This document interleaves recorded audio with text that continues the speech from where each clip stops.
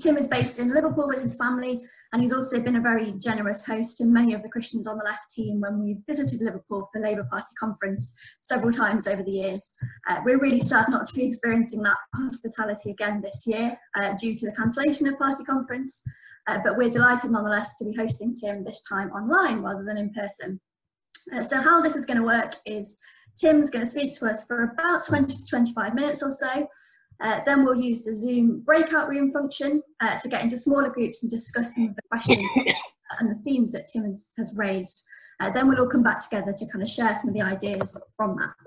Uh, so with no further ado, I'd like to hand over to, to Tim, and I think there's some slides which you should be able to see on the screen as well, uh, if you get the, the slide sharing thing, which Dan will do for us there. But yeah, Tim, over to you. Okay, thanks, Hannah. Um, really happy to be doing this. Um, I've been wrestling with a lot of this stuff for quite a few years, so um, um, so it's good to be able to share some of it and to take it a bit further and see what some of you guys think as well. Um, we're going to be looking at God as an economist and looking at um, some of the Sabbath Jubilee, excuse me, um, economics around that.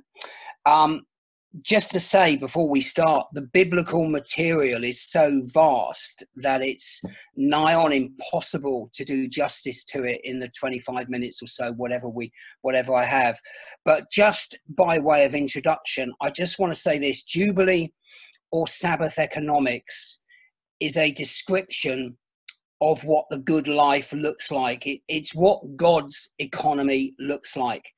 It's economics for the common good. It's economics for everybody. Um, it's the economics of shalom. Um, and it's how to live in such a way that meets everyone's needs, generation after generation. Um, and it's the economic structure which God instructed his people to observe. And I believe it becomes an opportunity um, to rethink to reimagine the political economy and where its resources are benefit to the entire community. Even for those as we will see in a few minutes even for those who are non-producers within the economy. So what we we are given by god um, is a vision of social and economic justice. Actually it's it's probably a, a lot more than that um, as Brueggemann would say, it's a resistance to the culture of now. It's saying, I think his book title was, It's Saying No to the Culture of Now. So the word Sabbath just means, literally means to rest and to stop working, which is very apt for these times. So, very briefly, we're going to look at some of what this was and maybe more importantly, um, begin a conversation, begin a discussion of what this might mean for our economy today. you know, we don't always um, see God as an economist. In fact, I would say it's something that we rarely find talked about in the church. But I do believe um, that it is a fully appropriate way of describing both his character and his work.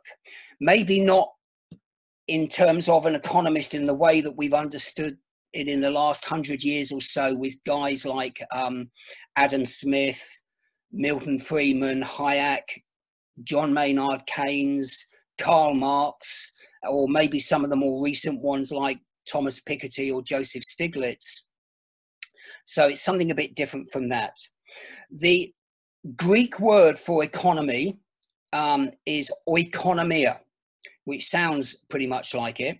And it comes from two words oikos is the house, and nomia is the rules or the laws. So it literally means to manage the house. But the house here is quite inclusive. It includes the individual, it includes the family, it includes community, and the wider society.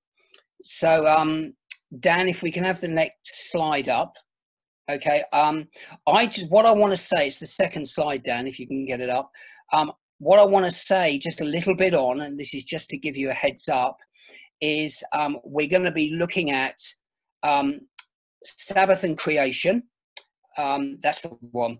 Sabbath and creation, Sabbath day, and then very quickly, really quickly, Sabbath year, year of Jubilee, and maybe just one verse looking at something in the life and the teachings of Jesus where we can have some feedback from you guys. Okay, next slide, Dan. So we're now looking at, um, I want us to start with Sabbath and creation. Okay, it's important that we understand where the idea of Sabbath first originated from. Sabbath appears in the creation story, and God creates the world in six days and he declares it good. Um, that actually is a pretty weak translation. Um, I don't think we have the word in English. We could certainly do better than good. Um, it's almost words like adjectives like incredible, be closer. Um, it's almost like when you see, perhaps you see a, a um, you know, a sunset or something amazing. Good just doesn't do it justice. Uh, even the weights, actually, it is very good. So God then culminates all of this good work by resting, by Sabbath. And there's a number of things we could say here, but I just want to throw this out to you. Um, God is not a workaholic. Um, next slide, Dan, please. Um, another really interesting verse and this is one just to get you thinking really. I i can't get my head around it but i'm going to try and explain it the best way i know how. If you're in and it's exodus 31 verse 17 now if you're into this sort of stuff from a, I think it's around exodus 24 to the end of 31 god makes seven speeches and the first six speeches are all in regards to the making of tabernacle. And it's pretty tedious stuff to have to when you listen, when you read it. Um, and the seventh speech is all about Sabbath. Um, and of course, you can imagine a lot of the Bible scholars commentators have um, noted that it sort of links with the seven days, six days of work, and then the seventh one is Sabbath, where he rested. So the seventh speech is all around Sabbath. And the very last verse of that talk on Sabbath is the one you have on your screen now. And it says, On the seventh day he rested and was refreshed. Now, I just want to throw this out to you. The word rested there, refreshed rather, sorry, there is a noun and it's the word self. But here, it's one of the few occasions where it's used as a verb. So what it's saying is, is it's saying God was refreshed or God reselfed himself. And it goes against all our classical and conservative theology because it seems to be saying that he needed to be refreshed or he needed to get his self back as if in some somehow he was depleted in some way. Now i don't know how you what you're thinking about this but for me it's just mind boggling um, and it's certainly very challenging but that is what the hebrew word actually says. I i don't know but i guess what we can say from this is if that god needed to rest then how much more us I once heard, and I put it on the screen for you because I just thought this was lovely. I once heard someone describe Sabbath as dwelling in the presence of the resting God. Okay, let's move on. Next slide, Dan, please. Okay, so I want us to look at the Sabbath day. So there are three parts um, to the Sabbath legislation. The first is the Sabbath day, and we're going to spend a little bit of time not looking at all the minute detail, but just some things that come out of that. And I want us to think a little bit first about the Exodus story. We all know the Exodus story pretty well. The Israelites, God um, has set them free, they've been liberated from their slavery and their captivity. But what is really interesting here is um, I think a really important question that we need to ask ourselves is, is how come they were in slavery in the first place? Right? It's not a question that ever really gets asked. But why were they in slavery in the first place? And I want to just give you a bit of the background here. It all starts with Pharaoh having a couple of dreams, and you probably know the dreams. And I think the first one is, is he sees seven healthy cows, strong, healthy cows, and then he, next part of his dream, he sees seven weak cows. And then in the dream, the weak, emaciated cows devour the healthy cows.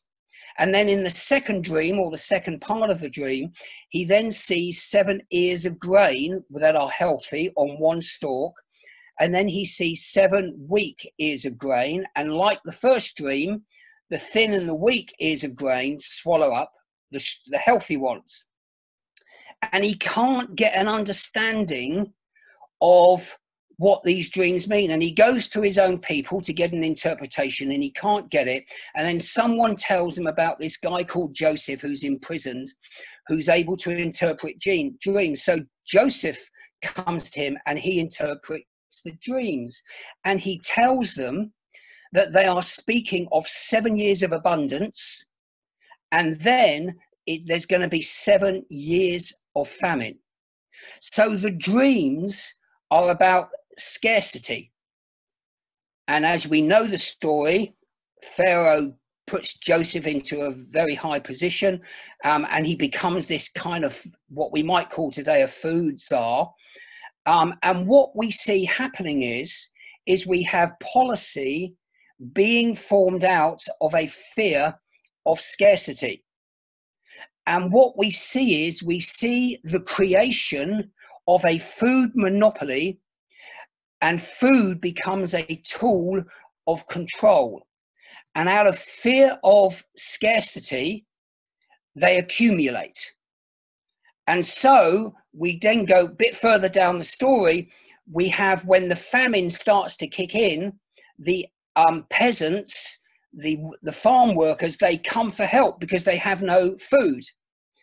And they come in the first year and they have to spend all their money that they have to buy the food. So Pharaoh takes the money from them.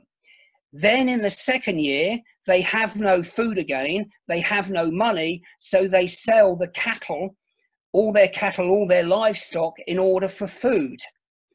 Um, as Marx might say, they've now lost their means of production.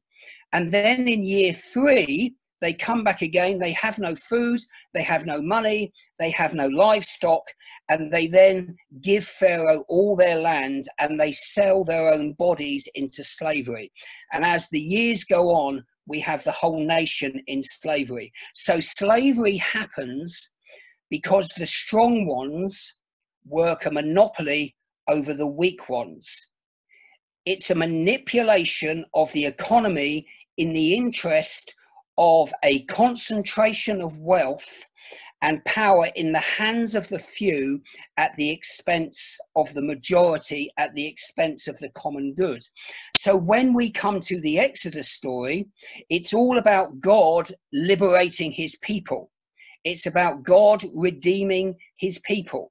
The word redemption is actually an economic term, it literally means to be bought out of debt slavery. So today, now, and I'm not saying I disagree with this, but we have made redemption solely about Christ paying for our sins. But I want to suggest that actually it's a lot deeper and it's a lot wider than that. So in the Exodus story, we have the Israelites being liberated and redeemed. So if we can go to the next slide, Daniel. Okay, so we come to Exodus 16. They've been liberated. They've only been in the wilderness um, a short period of time, and they're not enjoying it. And they're grumbling. You can read Exodus 16. They're grumbling against Moses and Aaron. And the Lord responds by sending manna from heaven um, each morning and quail each evening. And he gives them specific instructions. And I just want you to make note of these. The first one is they are not allowed to hoard. Okay.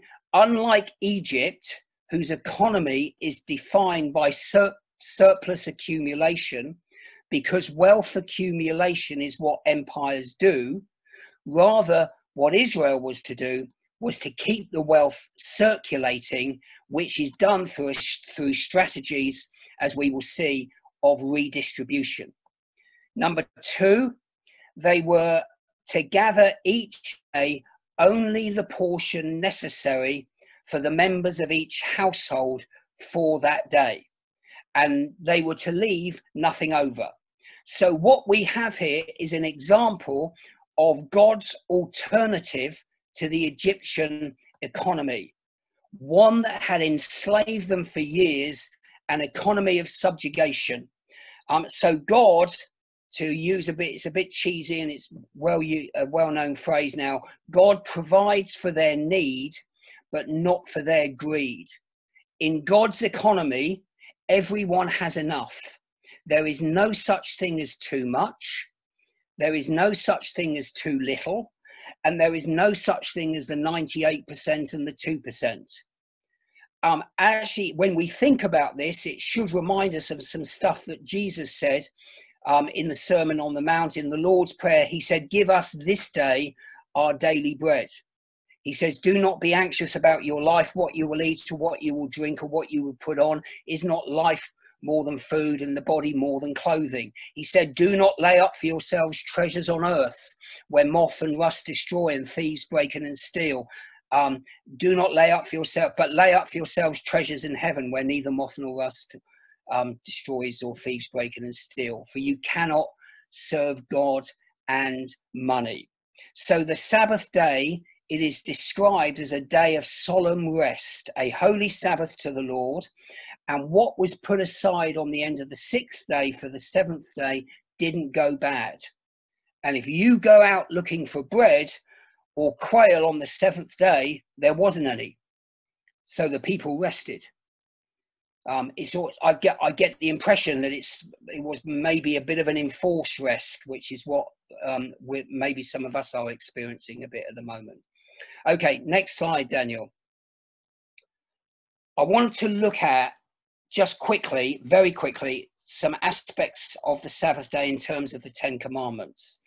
Okay, there are two accounts in the Bible of the Ten Commandments and you can see them up there. Exodus 20, which is linked more to creation. And if you read it in detail, you'll see why. And then um, Deuteronomy 5, 7 to 21, which is linked more to liberation and the Exodus story. And what is lovely about this, and there's a lot more detail in the text itself, but we don't have time to look at it, is the fourth commandment is to keep the Sabbath. Now, it's not quite in the middle, but the, I want to tell you the fourth commandment, the Sabbath commandment, is absolutely pivotal to all the other nine. I'm sure you've seen this before, but if you look, the first three commandments are all about our relationship to God.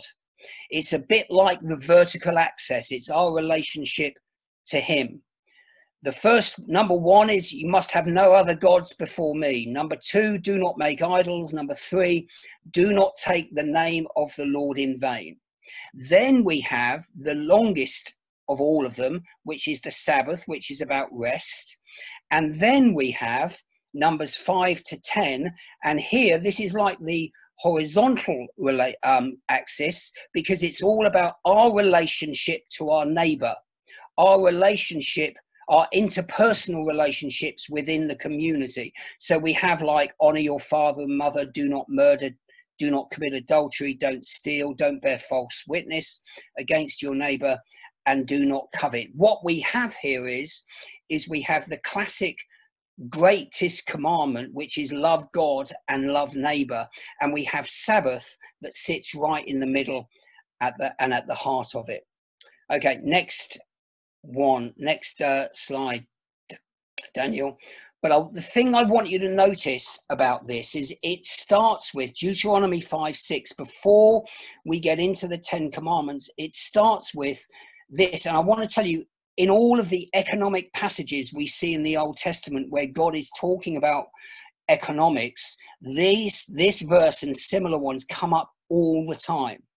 And he constantly is reminding them, he's saying, I am the Lord your God who brought you out of the land of Egypt, out of the land of slavery. And then he goes into his Ten Commandments. So the motivation for obeying God is the memory of liberation from captivity. So Sabbath is not just a day. I remember growing up as a kid, and my mum and dad wouldn't let me watch the television on a Saturday. Um, but they would what I never understood it because they would listen to the radio, but I wasn't allowed to watch match of the day.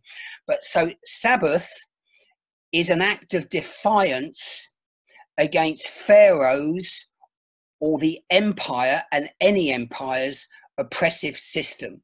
And as we shall see, Sabbath um, begins to imagine an economy in which the community shares all the resources for all of its members, all of the people, all the neighborhood, all the neighbors.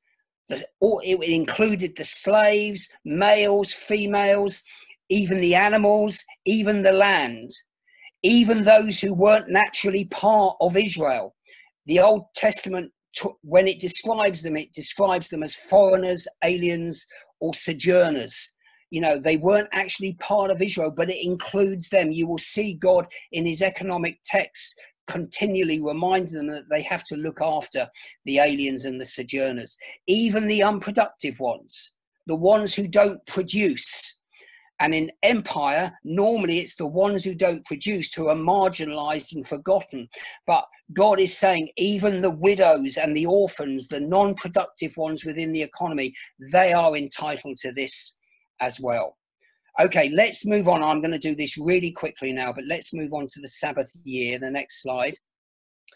And um, I, I'll, we've got two, two texts up there, but the first reference to the Sabbath year, or sometimes it's called the year of release, is in Exodus 23. And that is where, that's one of the places where it says, You shall not oppress a foreigner. You know the heart of a foreigner. You for you were foreigners in the land of Egypt. So it's a continual reminder where they came from.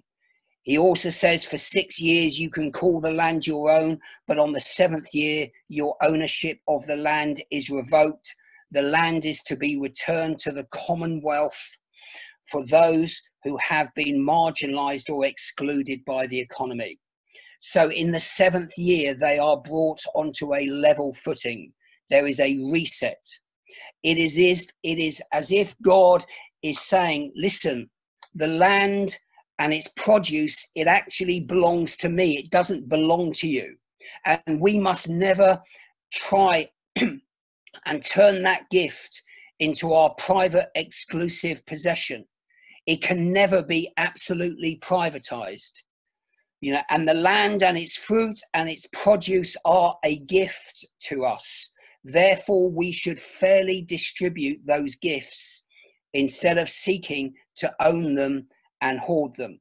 So, with the Sabbath, we have the seventh day, which is now turned into the seventh year Sabbath. So, it is about rest again, but it's also about returning the land to the people. And to get a fuller picture of this, that is where you would need to read um, in your own time Leviticus 19, Deuteronomy 15. Um, the Sabbath goals are what I've got on the slide there. There is enough for everyone. Number two, there is a prohibition of accumulation. This is something that Jesus talked about a lot, not accumulating for ourselves. It's quite the opposite of, I would suggest, the economic or our system that we are now in. Number three, debts are wiped off the books. People who got into debts were forced to sell their land. Normally, it was out of their control, it wasn't their fault. And then, even themselves, they would sell themselves as debt slaves. So, the fourth part was slaves were freed. Okay, so this is not charity, right? This is economic justice. And it stops the process it stops the process of economic marginalization, and poverty. Okay, next slide. We're looking now at the third part of the legislation, which is Jubilee. And in the Jubilee, we have what is probably the fullest expression of Sabbath. Jubilee, it's, we have seven times seven Sabbath years, which is 49. And then in the 50th year, um, we have the year of Jubilee. It's a sort of super Sabbath, okay? And it was proclaimed with the sound of the trumpet, which is the Yobel, I believe, which is where we get the word Jubilee from. And again, if you, it's not on the screen, but if you want to read the details of that more, it's that's Leviticus 25 and I want to say this because this is, um, I don't know, this is probably a little bit, some people would find this a little bit controversial, but the aim of Jubilee is to dismantle the structures, to dismantle the structures of social and economic inequality. And this is done in three ways. Firstly, we have the returning of the land to its original owners so we have land redistribution. No one should be permanently homeless. That there's so much rich teaching that comes out of that. Number two, we have a release of each community, each individual, each home from debt. And number three, we have the release, the freeing of slaves. So Jubilee provides the ultimate solution to exploitation, to oppression, to poverty, to marginalization. Nothing has ever been seen like this before or since. And it has largely, I would say, it has largely been ignored by the Western Church. Although there are today organizations that seek, seek to keep the Jubilee principles alive. Probably the one i don't think it's got it's come away from its christian roots i think but you can correct me if i'm wrong is the jubilee debt campaign which is still very much going so what we see in sabbath in Ju- in the jubilee principles is a repudiation of our current economic thinking factors such as insatiable consumerism and greed individualism unrivaled military power, the growing economic gap we're seeing between the haves and the have nots. But you could ask, and we've almost I've almost finished, but you could ask, isn't this just for the Old Testament? Well, we get a lot more of this. We haven't had time to look at the Old Testament. It would have been great to look at what some of the Old Testament prophets had to say. They all, or most of them, seem to protest at the economic inequality in Israel, keeping alive the tradition of an alternative economic story.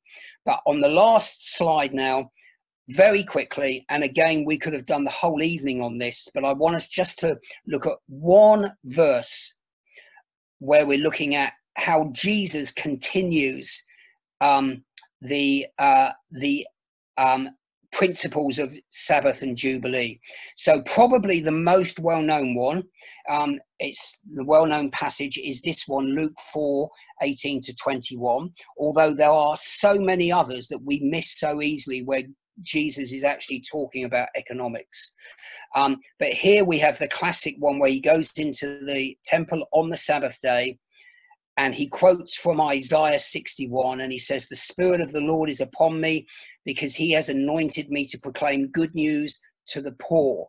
He has sent me to proclaim liberty to the captives and recovery of sight to the blind, to set at liberty those who are oppressed, to proclaim the year of the Lord's favor. Practically every Bible commentator, interpreter says that the Lord's favor, the year of the Lord's favor, refers to the Jubilee year. And after reading it, he hands back the scroll to the um, to to the person there, um, and he says this. He says, "Today this scripture has been fulfilled in your hearing."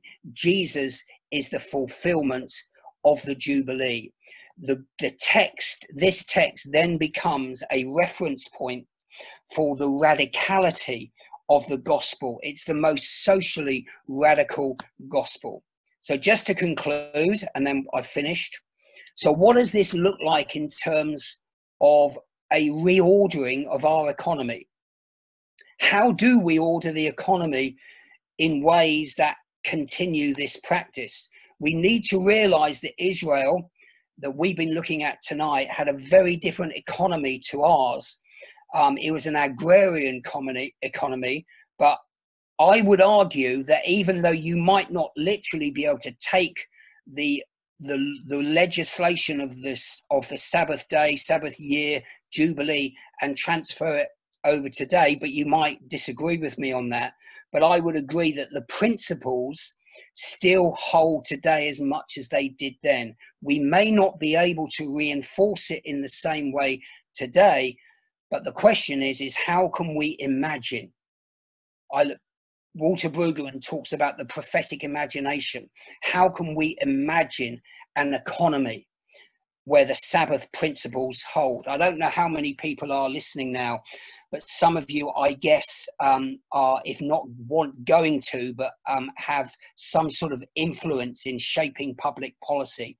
How can they spill over into public life? Because I believe they should. So that's me finished. If you put up the next slide, Daniel, I've got a series of questions there.